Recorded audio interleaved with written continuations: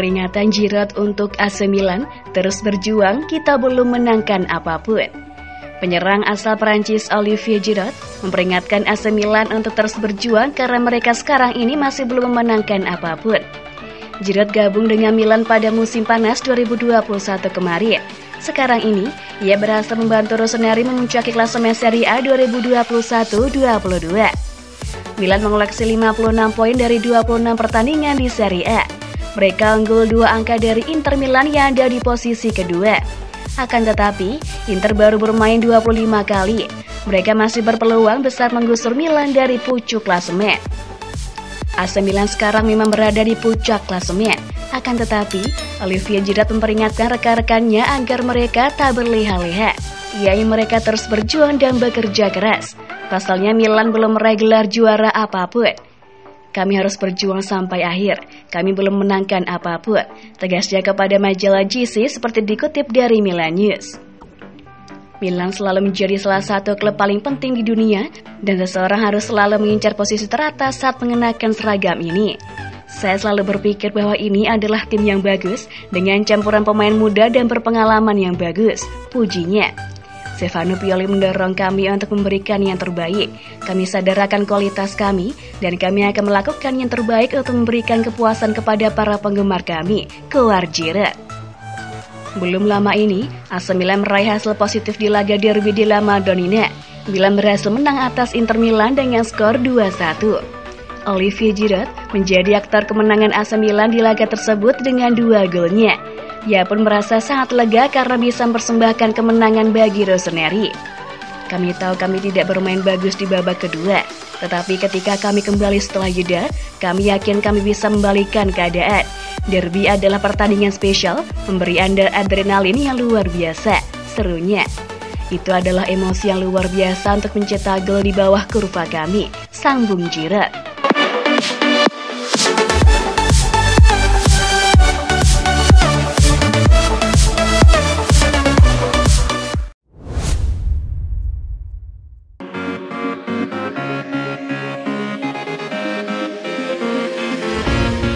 Bedah kualitas Gerard Deulofeu, titisan Messi yang diajak balikan oleh AC Milan. Kualitas Gerard Deulofeu, titisan Lionel Messi milik Udinese yang santer diberitakan diajak balikan oleh AC Milan. Dalam sehari ke belakang, beredar laporan bahwa AC Milan ingin kembali diperkuat oleh Gerard Deulofeu untuk musim depan. Kabar ini dihembuskan oleh Matteo Moreto yang merupakan jurnalis Sky Sport Italia. Ia membocorkan bahwa Delovo menjadi salah satu target AC Milan pada musim panas mendatang. Kabar ketertarikan AC Milan ini bak menjadi yang segar bagi Delovo yang sempat disebut habis karena menukiknya performa yang ia miliki.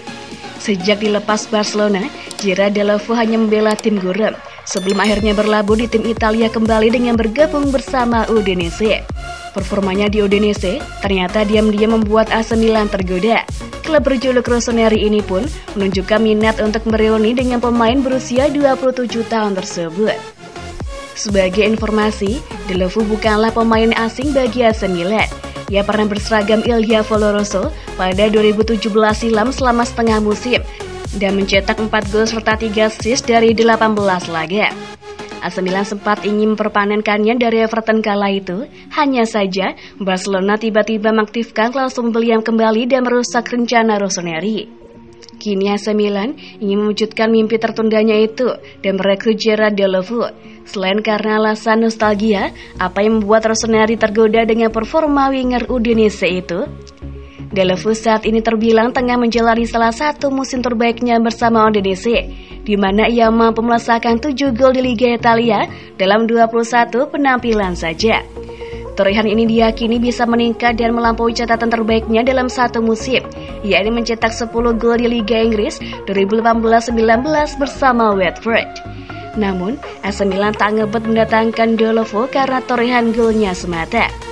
Ada beberapa faktor lain yang membuat Rossoneri tergoda untuk bereuni dengannya kembali. Hal ini bisa dilihat dari kebutuhan AC Milan akan winger kanan atau winger berkaki kidal. Dalam formasi 4-2-3-1 yang diterapkan Stefano Pioli, Rossoneri tak punya winger mumpuni untuk sektor kanan. Memang benar, masih ada nama Alexis Lemakers dan juga Samu Castillejo. Namun nama terakhir diprediksi akan ditendang dan membuat AC Milan membutuhkan winger kanan baru. Selain karena kebutuhan tim, AC Milan juga memandang Deulofeu lebih baik dari Selemakers dan juga Castillejo. Namun, apakah penilaian Rossoneri ini tepat? Jika menurut statistik ketiga pemain ini, Deulofeu punya catatan lebih baik perihal melakukan serangan dan kemampuan menciptakan peluang serta menciptakan gol. Gimana nih menurut Milanisti?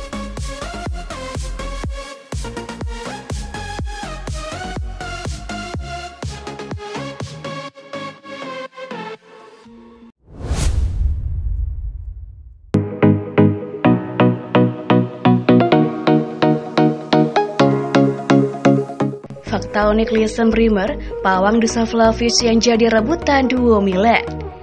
Dua raksasa Liga Italia Inter dan AC Milan masih terus dikaitkan dengan sejumlah pemain yang kabarnya yang mereka rekrut, salah satunya Clayson Bremer.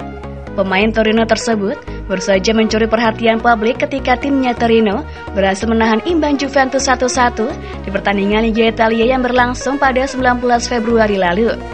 Di pertandingan malam itu, Bremer sukses meredam dan menghentikan pergerakan Vlahovic hingga tidak dapat berbuat apa-apa untuk Juventus.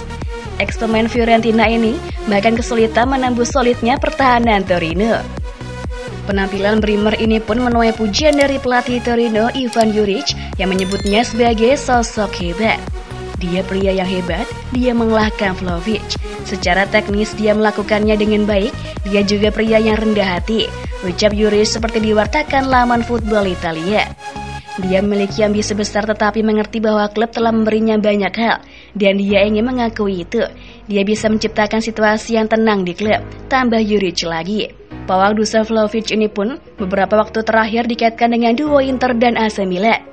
Mereka pun patut semeringah lantaran ada kabar yang menyebut Torino tidak akan melepas Clayson Bremer ke Juventus. Otomatis, pesaing Inter dan AC Milan berkurang satu untuk mendatangkan pemain berusia 24 tahun tersebut.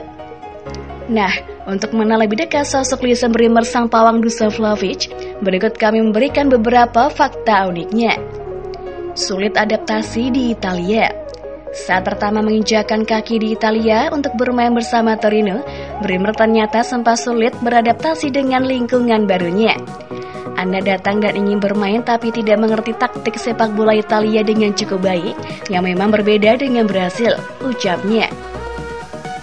Prestasi sebagai pemain muda Sebelum bergabung dengan Torino, Bremer punya catatan mentereng saat menjalani karir sebagai pemain muda di kampung halamannya Brasil. Tak butuh waktu lama baginya untuk susah bersama Sao Paulo, meski hanya berstatus pinjaman. Pada tahun 2016, ia dan rekan-rekannya sukses menggendap predikat Copa do Brasil Sub-20 alias U20. Saat itu, Sao Paulo menumpas bahaya dengan agregat skor 5-3. Selanjutnya, gelar serupa juga berhasil beri mergondol pada 2017 setelah berseragam Atletico Mineiro.